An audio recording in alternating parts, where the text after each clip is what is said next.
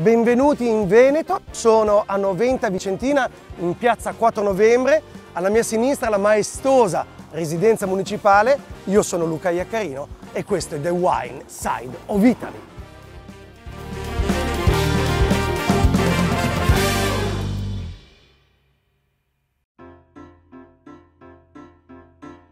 Sono in giro per l'Italia alla scoperta dei vitigni autoctoni, quelli meno noti ma più caratteristici. E oggi sono qua per conoscere il Thai rosso, il vitigno tipico dei meravigliosi Colli Iberici. E visto che sono un critico enogastronomico, vi dico che non c'è posto migliore delle osterie, dei ristoranti per provare i veri sapori del territorio. Ecco, dovrebbe essere da questa parte. Eccolo qua. Oh Luca! Benvenuto Luca. Grazie mille, che piacere, che piacere. Senti, è un locale bellissimo, che storia ha? Eh, vecchia come il cucco. Una volta era un'osteria però. 1905. La nonna, mia mamma ed ora ci sono io. Abbiamo tenuto molto della tradizione, soprattutto i piatti. Non solo, però abbiamo fatto anche qualcos'altro. Senti, tu sai perché io sono qua? Certo che sì. Ti seguo? Certo. Andiamo.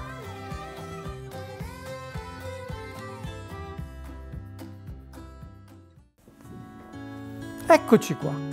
E il sommelier? Un minuto, arriva. Quindi sei anche sommelier.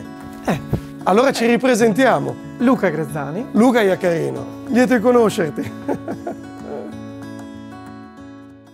Luca, che storia ha il Thai Rosso? 100 anni di storia. Due strade, due storie. Una che deriva da, da un falegname che ha fatto il servizio militare in Austria e ha portato le barbatelle. Infatti fino a poco tempo fa si chiamava il vino del Marangon. Marangon in Veneto vuol dire falegname appunto. L'altra i nostri cardinali di Vicenza andarono a visitare ad Avignone, soprattutto a vivere ad Avignone questa sessione papale e portarono anche loro queste barbatelle. Quindi ci hanno dato questo prodotto grazie appunto a questo ritorno in patria di questi personaggi. Senti, il nome Thai Rosso da dove viene? Tai Rosso è un nome che non ha tanti anni. Si chiamava prima Tokai Rosso, per questioni legali abbiamo perso il nome e abbiamo affiancato appunto a questo nome di Tai Rosso anche il nome Barbarano, quindi non è vecchio come origine. Però negli ultimi anni se ne sono fatte poi diverse declinazioni. Sì, è un vitigno duttile, quindi c'è stata la versione spumante che non ha avuto un grandissimo successo, che però nella versione passita ha ottenuto un vino che va bene con piatti strutturati. Fammi un esempio di un piatto strutturato con cui starebbe bene. Beh, l'anatra, il melograno, arrosto, una selvaggina, un piatto tipico proprio nostro, il baccalà alla vicentina. Senti, come sai, il progetto True Italian Taste, assieme alle Camere di Commercio italiane all'estero, valorizza i prodotti italiani in giro per il mondo. Comincia il Thai Rosso a affacciarsi nei mercati internazionali? Secondo me sì, perché noi vicentini siamo gente che si dà da fare e soprattutto ci concediamo delle licenze, perché in Veneto esistono tagli bordolesi, soprattutto anche qui nel nostro territorio, e noi affianchiamo a questo taglio bordolese classico, Merlot, Cabernet Franc, Cabernet Sauvignon, il nostro Thai rosso, quindi un bel blended. Che terreno predilige? Al Thai rosso piace soffrire, lui preferisce i terreni magri. Se non c'è acqua se la cerca, quindi non gli piace l'abbondanza. Un terreno argilloso, scarno, attualmente viene coltivato castigando la potatura, tenendo pochi grappoli per avere una concentrazione, ma soprattutto a lui piace soffrire.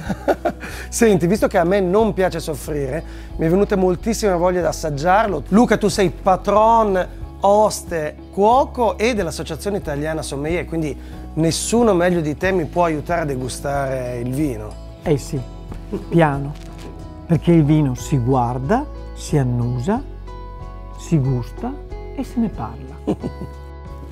Non è una cosa così difficile, quindi guarda, guarda questo vino, guarda come brilla, guarda il colore, questo rubino, prova ad annusarlo, la senti la fragola.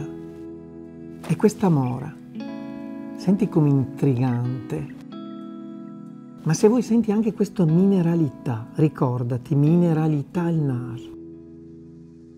Piacevolissimo.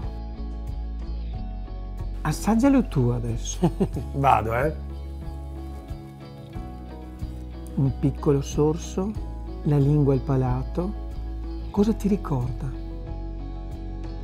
Frutti rossi, devo dire queste cose qua, eh? Li devi dire. Ma senti che è un vino che quando lo mandi giù, dopo un attimo ti viene voglia di rimetterlo in bocca. Cos'è questo?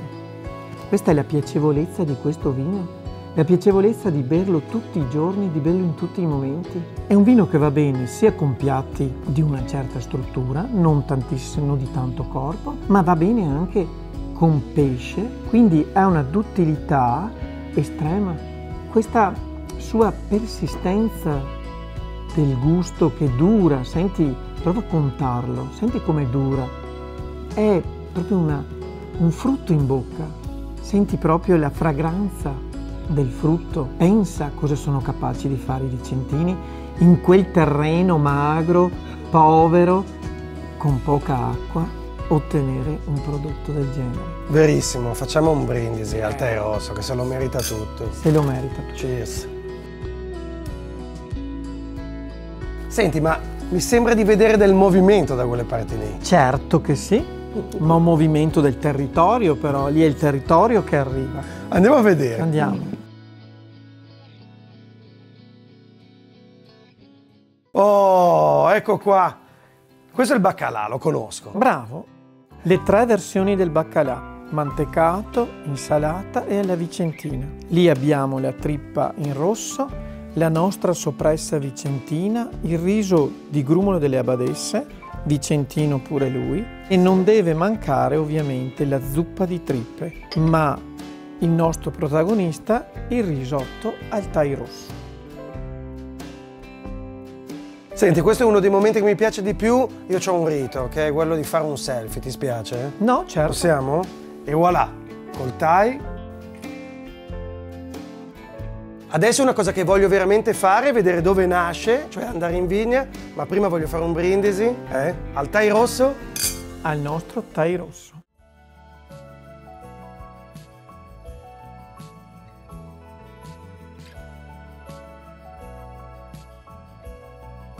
Eccomi nella vigna del Thai rosso con questi meravigliosi colori autunnali. Il Thai rosso è un vitigno autoctono del Veneto, uno di quei prodotti veri e autentici che il progetto True Italian Taste valorizza in Italia e nel mondo assieme alle camere di commercio italiane all'estero.